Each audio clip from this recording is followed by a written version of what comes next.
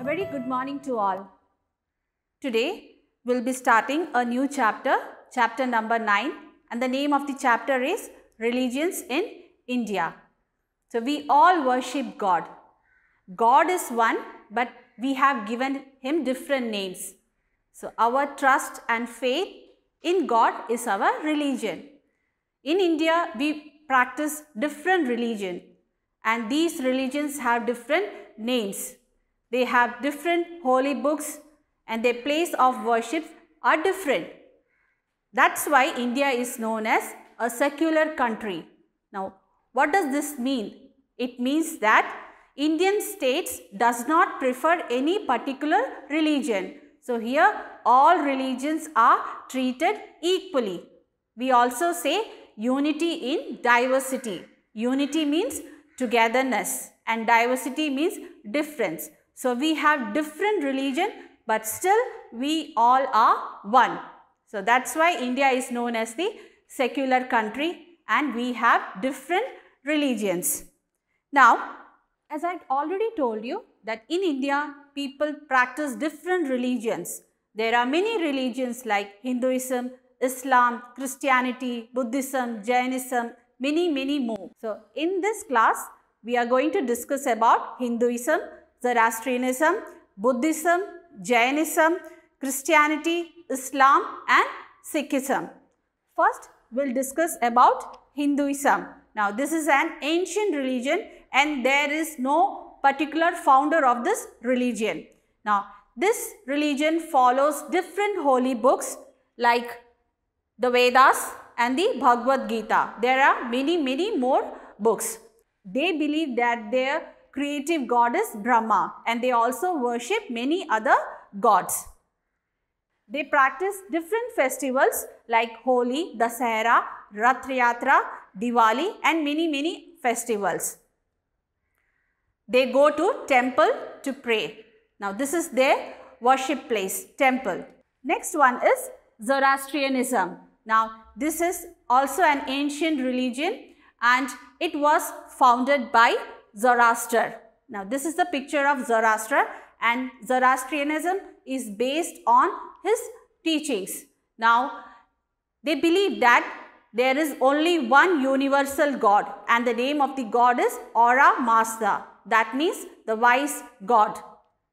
This is their holy book, Zend Avesta. We say Zend Avesta. They believe that the world is involved in the fight between good and evil. This is one of the main festival celebrated by the Zoroastrians that is Navroz. They go to fire temple to pray.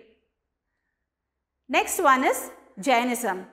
It is an ancient religion and it was known as Jain Dharma. Now Mahavir is known as the main teacher of Jainism.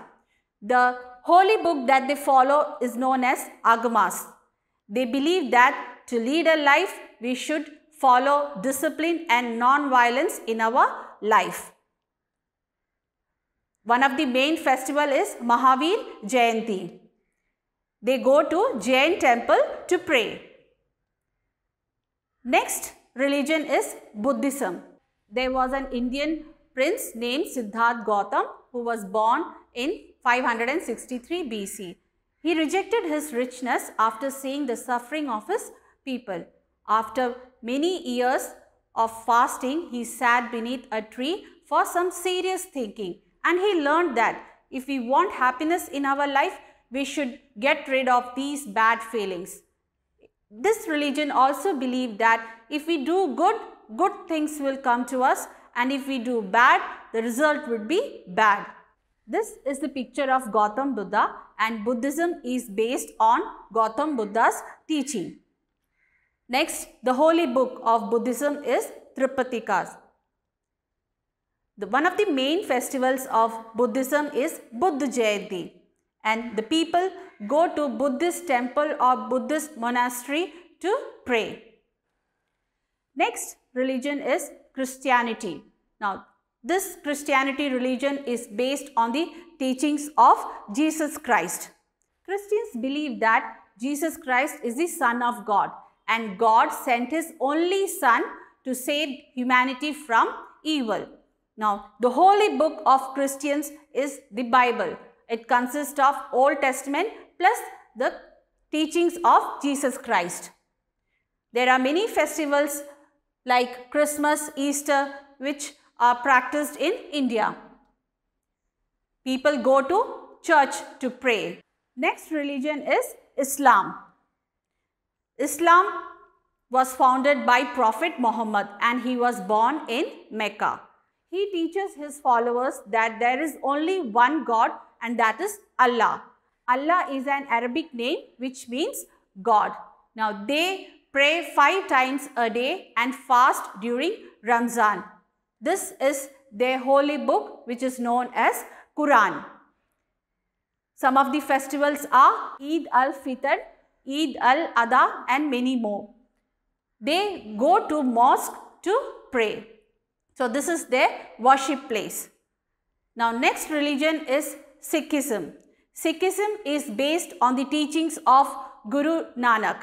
Now Sikh people believe that to lead a life, good life, we should remember God all the time and they believe in equality of mankind. That means all human beings should be treated equal.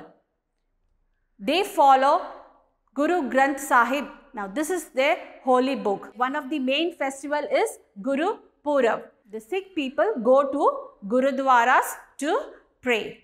Now this was about the seven religions that are followed in India. That's all for today. We'll meet in the next class. Thank you.